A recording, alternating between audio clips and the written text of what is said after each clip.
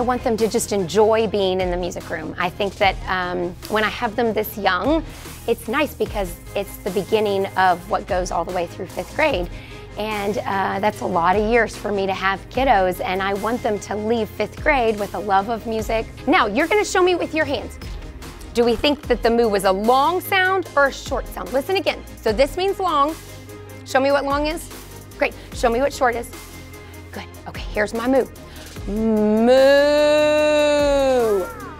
Oh, that is a long sound. Uh, it's nice to have them so young, and my goal is for them to begin to learn how to do movement and move to the music, whether that's with a scarf or just them dancing.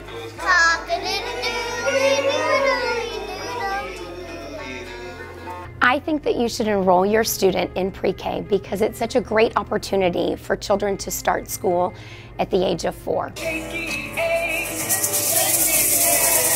And it is so nice to have them starting at a young age and then for years to come.